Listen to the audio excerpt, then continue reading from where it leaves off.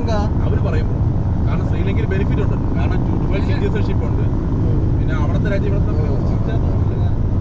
നമ്മുടെ നാട്ടിലും സെയിം ആണ് നാട്ടിൽ ഡ്യുവൽ സിറ്റിസൺ ഇല്ല. ഇവിടുത്തെ സിറ്റി കാണാൻ നാട്ടിലെ പാസ്പോർട്ട് കട്ട് ചെയ്ത് കളഞ്ഞിട്ടാ നമുക്ക് ഇവിടുത്തെ പാസ്പോർട്ട് അതെ.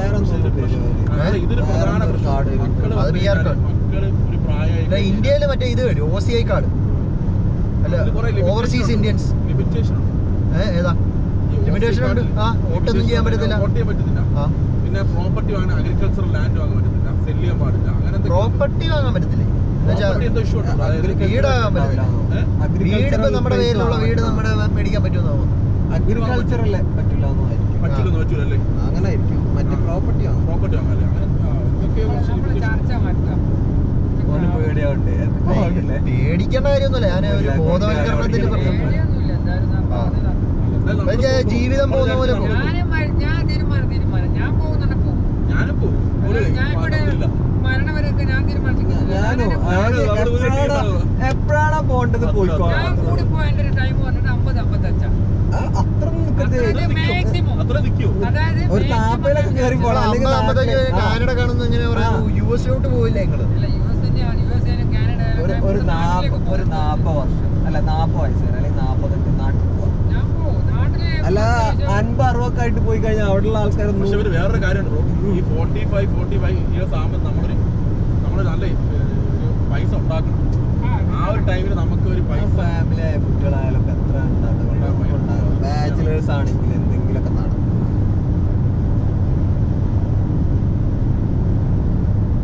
ബിസിനസ് ഒക്കെ തുടങ്ങി നല്ല എന്തെങ്കിലും ആവും? ടാക്സ് ഇല്ല ടാക്സ് ഒരുപാട് എഴുതി തള്ളാം. തള്ളാം ബിസിനസ് ആണ് ഇവിടുത്തെ ഗവൺമെന്റിനും വേണ്ടത്. ഒരു ബിസിനസ് തുടങ്ങുമ്പോൾ എത്ര പേർക്ക് ജോലി കിട്ടും? അതിനാണ് ടാക്സ് ബെനിഫിറ്റ് കൊടുക്കുന്നത് ബിസിനസ്. എന്ത് ബിസിനസ് തുടങ്ങിയാലും ഭയങ്കര ബെനിഫിറ്റ് വരും ടാക്സ് ബെനിഫിറ്റ് വരും. ഇപ്പോൾ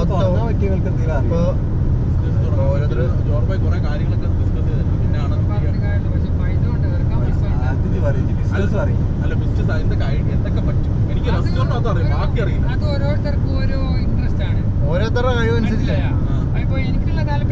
എന്നാലും പറയുന്ന താല്പര്യം അതായത് ചെറിയ മൂലധനം മുടക്കിൽ ചെറിയൊരു മറ്റേ ചായ കുടിക്കുന്നില്ല.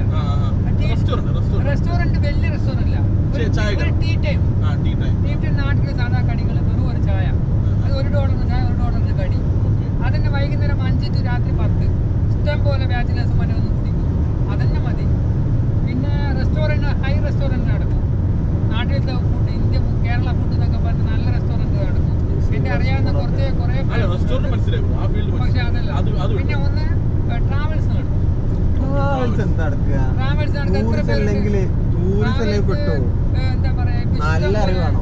നല്ല അറിവാണോ സ്റ്റുഡൻസ് ഒക്കെ ഇഷ്ടം പോലെ ട്രാവൽസ് ഇവിടെ കാനഡയിലെ മലയാളിന്റെ ഏറ്റവും വലിയ ട്രാവൽസ് എനിക്ക് എയർ റഹ്മാൻ ട്രാവൽസ് റഹ്മാൻ റഹ്മാൻ മുജീബ് റഹ്മാനല്ലേ? മുജീബ് റഹ്മാൻ എത്ര പൈസ ഉണ്ടാക്കുന്നില്ല ട്രാവൽസ് ഉണ്ട് ഇപ്പൊ ഈ ഓൺലൈനിൽ മറ്റേ ഓരോരുത്തർക്ക് ടിക്കറ്റ് എടുക്കുന്നത് അതാണ് അല്ലടാ ഇതിൽ ട്രാവൽസ് നടത്തുന്നത്. കാരണം ഞാൻ ട്രാവൽസ് ഫീൽഡിൽ വർക്ക് ചെയ്താണ് ടിക്കറ്റ് വെച്ച് ബുക്ക് ചെയ്യുകയാണെങ്കിൽ എത്രയാണെന്ന് എത്രയാണെന്നറിയോ? അവിടെ ഖത്തറിലൊക്കെ ഒരു മുപ്പത് റിയാൽ വരെ അല്ലെങ്കിൽ പത്ത് റിയാൽ വരെയൊക്കെ കാരണം ഇത് നോ- അല്ലെങ്കിൽ പ്രായമായ ഇപ്പൊ അറബികളൊക്കെ ഉണ്ടല്ലോ. അറബികൾക്കൊന്നും അറിയില്ലല്ലോ. ഒരു വന്നാലേ ചാമ്പാൻ പറ്റും. അല്ലെങ്കിൽ നടക്കില്ല പിന്നെ ടൂറിസം തുടങ്ങണം റെസ്റ്റോറന്റ് ആണ് ഇതിൽ അല്ല റെസ്റ്റോറന്റ് ഏറ്റവും ഈസി ബ്രോ അതാണ് എല്ലാവരും ഇറങ്ങുന്നത്. ഈ റെസ്റ്റോറന്റ് അല്ലാതെ വേറെ എന്തോ ഇല്ല. അതാണ് ആ, റെസ്റ്റോറന്റ് restaurant അല്ല എന്ത് നടത്തണമെങ്കിലും അതിന്റെ സ്കില്ലും ആണ് അതാണ്. ചില പെട്രോൾ പമ്പൊക്കെ ഇവിടെ നടത്തിപ്പിന് കിട്ടും. ആ പെട്രോൾ പമ്പ് അതാണ് ഗ്യാസ് സ്റ്റേഷൻ പക്ഷെ അതിനൊരു നടത്തിപ്പിന് മലയാളീസ് അതൊക്കെ എടുത്തിട്ടുണ്ട്. എന്റെ കൂട്ടുകാർ എടുത്തിട്ടുണ്ട്. നാനൂറ് കേക്ക് നാനൂറ് നാനൂറ് കേക്ക് ഇത് മേടിച്ചിട്ട്. ഷെയറിൽ അവന്മാര് എത്ര ഒരു വർഷം. അങ്ങനെ അല്ല അമ്മമാര് പെട്രോൾ പമ്പ് എടുത്തു മൂന്ന് പേര് ഷെയർ ആയിട്ട്. ഇപ്പൊ കുറച്ച് ഉള്ളിലോട്ട് അങ്ങനെ സ്ഥലമാണ് നമുക്ക് അങ്ങനെ കൂട്ടുകാരൊന്നല്ല എടുത്ത കൂട്ടുകാരല്ല ഇങ്ങനെ പരിചയത്തിലുള്ള എന്നിട്ട്? അവർ നടത്തുന്നുണ്ട്. അതായത് അവർക്ക് ലൈഫ് ടൈം അത് കിട്ടും. ആ അവന്മാര് മേടിച്ച. നാനൂറ് കൈക്ക് കുറച്ചൊരു ഉൾഗ്രാമത്തിലോട്ട് petrol pump real estate real സ്ഥലങ്ങൾ വാങ്ങാം വീട് പോകും മറിച്ച് വെക്കാം. ഏറ്റവും കൂടുതൽ പൈസ എടുക്കുന്ന പറ്റിയ ഫീൽഡാണ് റിയൽ എസ്റ്റേറ്റ് പക്ഷെ നല്ല നല്ലതാണ്. കളിക്കാനും പാ- പറ്റണം. വായിൽ നാക്ക് പോണം നല്ല. ഹംദി അബ്ബാസ് അറിയാം. ഹംദി അബ്ബാസ്. മൂപ്പരായില്ല പുള്ളി ഇപ്പൊ ഭയങ്കര ഫെറ്റ് സെറ്റ് പുള്ളിയെ ഞാൻ ഞാൻ വന്ന സമയത്ത് പുള്ളിയെ കോൺടാക്ട് ചെയ്ത് രണ്ടായിരത്തി ഇരുപതിൽ അന്ന് പുള്ളി ഡോമിനോസിലാണ് വർക്ക് ചെയ്യുന്നത്. എന്റെ റൂംമേറ്റ് ഈ അന്ന് ഇവനെ വിളിച്ച ജോലി ഉണ്ട് പാർട്ട് ടൈം ജോലി ഉണ്ട് വിളിച്ചായിരുന്നു പറഞ്ഞു ജോലി ഭയങ്കര click ഒന്നും. ആ, പക്ഷെ പക്ഷെ അത് അയാൾ കാണിക്കുന്ന. അത് റിയൽ എസ്റ്റേറ്റ് നിങ്ങൾ പറഞ്ഞ കറക്റ്റാണ് റിയൽ എസ്റ്റേറ്റ് അയാൾ അയാളെ കുറച്ച് ഫ്രണ്ട്സും മറ്റേതൊക്കെ ആയിട്ട് ചെറിയ ചെറിയ മലയാളി അസോസിയേഷന്റെ പരിപാടിയൊക്കെ വരുമല്ലോ ആ. ഒരു അഞ്ഞൂറ് ഡോളറൊക്കെ കുറച്ച് സ്പോൺസർഷിപ്പ് കിട്ടും അതെ അതെ അപ്പൊ ഒരു ഗ്രൂപ്പിലൊക്കെ പത്തായിരം അഞ്ഞൂറൊക്കെ ആളുള്ള ഗ്രൂപ്പൊക്കെ ഉണ്ട്. നമ്മളെ ഞാനിലുണ്ടല്ലോ അതെ അതെ. അതിലൊക്കെ ഒരു ഫോട്ടോ ഒക്കെ ഇട്ടാൽ പരിപാടി സ്പോൺസർ. ക്ലിക്ക് ആവും. അല്ലാണ്ട് ഭയങ്കര അല്ല മാത്രമല്ല ബ്രോ പറഞ്ഞ പക്ഷേ ഈ റിയൽ എസ്റ്റേറ്റിന്റെ മേജർ മാർക്കറ്റിംഗ് അതാണ്. എന്താണെന്ന് വെച്ച് കഴിഞ്ഞാൽ. അവരെപ്പോഴും പബ്ലിസിറ്റി ലക്ഷറി ലൈഫ്. ലക്ഷറി നമ്മളെ പോലത്തെ ഇപ്പൊ സ്റ്റാൻഡ് അതെ. അവരിപ്പോ ഇടുന്ന കാറായാലും ഭയങ്കര ആയാലും അവർക്ക് കമ്പനിക്ക് കമ്പനിയിൽ നല്ല നല്ല ഇതൊക്കെ ഉണ്ടാവും. റെന്റിനും മറ്റൊക്കെ കിട്ടും പറയും പൈസ മറിക്കാനും പിടിക്കാൻ ഈ റിയൽ എസ്റ്റേറ്റുകാരും ഈ സ്വർണ പണി സ്വർണത്തിന്റെ കളിക്കുന്നവർക്കൊണ്ടും പൈസ കൈ പിടിക്കാനുണ്ടാവും മനസ്സിലായോ? ഈ സ്വർണ വ്യാപാരികൾക്കും സ്വർണം ഇറക്കണ്ടേ? അപ്പോൾ സ്വർണം ഇറക്കുമ്പോൾ കൊടുക്കുമ്പോൾ ഒരു പൈസ അങ്ങോട്ടും ഇങ്ങോട്ടും കൊടുക്കണ്ടേ കയ്യിൽ എപ്പോൾ ഒരു ഏർ, പൈസ കാണും മനസ്സിലായോ അപ്പൊ അതാണ് ഇവന്റെ ഒക്കെ കളി ഒക്കെ റിയൽ എസ്റ്റേറ്റ് കൊണ്ട് കളിക്കാൻ നല്ല വായിൽ നാക്കൊന്ന് വേണം പിന്നെ അത്യാവശ്യം ഇപ്പൊ എന്താ പറയാ ഒരു പബ്ലിസിറ്റി ഒരു കുറച്ച് പൈസ ഇറക്കാനും വേണം അത് മെയിൻ ഘടകം സോഷ്യൽ മീഡിയ നല്ല രീതിയിലാണ് അതെ. റിയൽ എസ്റ്റേറ്റ് പൈസ ഉണ്ടാക്കും ഒരു പത്ത് ലക്ഷം റുപ്യ ഇപ്പൊ ഒരു ബിൽഡിംഗ് നീ വേറെ ഞാൻ ഒരു ഐഡിയ പറഞ്ഞുതരാം വേറെ നല്ലൊരു ഐഡിയ ബ്രോ ഒന്നുമില്ല റിയൽ എസ്റ്റേറ്റ് റിലേറ്റഡ് തന്നെ. വാങ്ങാനുള്ള ഒരു സ്ഥലം ആ പക്ഷെ അതിന് ലൈസൻസ് എടുക്കണം അല്ലേ എന്താ? അതിന് ലൈസൻസ് എടുക്കണം. ഒരു റിസ്കും ഇല്ലല്ലോ. റിസ്ക് എന്ന് പറഞ്ഞാൽ കണ്ടെത്തിയാ പോരെ.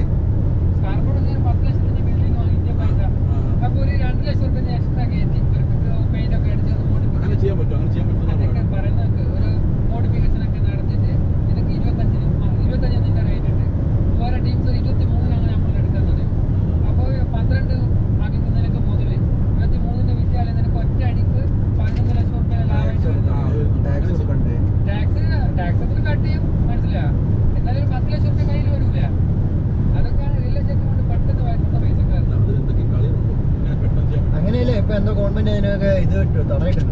അത് വീട് അടിച്ചു കഴിഞ്ഞാൽ അഞ്ചു കൊല്ലം കഴിയാതെ വിൽക്കാൻ പറ്റും.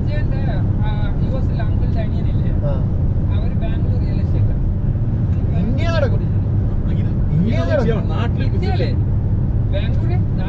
അല്ല നാട്ടിൽ ചെയ്യാൻ ഭയങ്കര ആസ്തികളാ. പെട്രോൾ പമ്പ് ബിൽഡിംഗ് മറ്റേ ഈ ഇന്ത്യയിലൊക്കെ ഇപ്പൊ ഏറ്റവും മികച്ച ജനികന എം എൽ എ ശിവകുമാർ അല്ല ഡി കെ ശിവകുമാർ അവന്റെ